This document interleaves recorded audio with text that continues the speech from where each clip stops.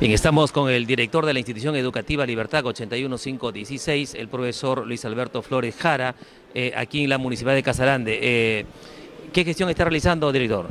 Buenos días a toda la comunidad de Casagrande. Sí, aquí estamos, eh, hemos tenido la conversación con el ingeniero de, obras, el ingeniero Freddy Chomba y con el alcalde Pascual Bueno para, ver este, sobre eh, la, reapertura del expediente que, del mini coliseo de nuestra institución educativa, ¿no?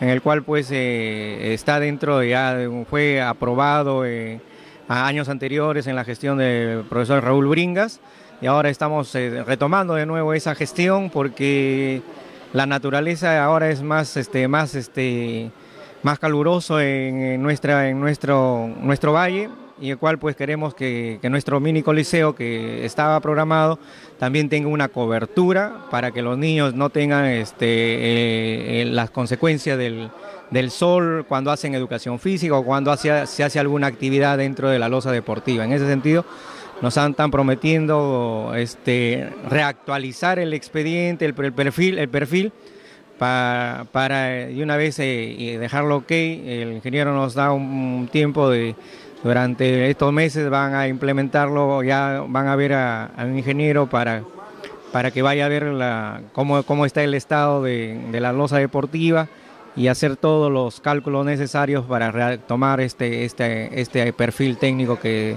dejó este, el anterior director. ¿no?